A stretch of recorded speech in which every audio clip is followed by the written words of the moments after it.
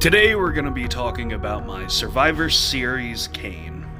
This figure is from the Elite Collection, and the paint job is accurate and well done. The figure comes with two accessories, one being a steel chair, and the other one being a additional set of interchangeable hands. Also, with it being from the Elite Collection, the posability is the best of its kind. When speaking about the artwork, there's not a lot going on whatsoever in the background.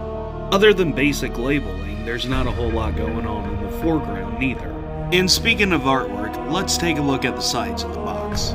So compared to the front of the box, they really utilized the extra space. And speaking of space, if you choose to display these like this, it's nice for organizing. Now let's take a look at the back of the box.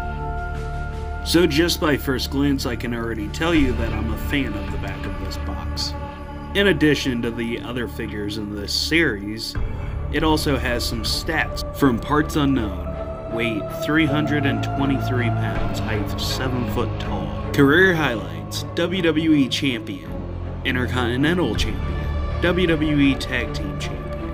The Big Red Machine joined Team WWE in a winner takes all match against Team Alliance at Survivor Series 2001. First off, I don't care what you say, that was a great match and I enjoyed every second of it. Second off, I really enjoy the fact that there's a bit of lore about this figure and the event that it was based on.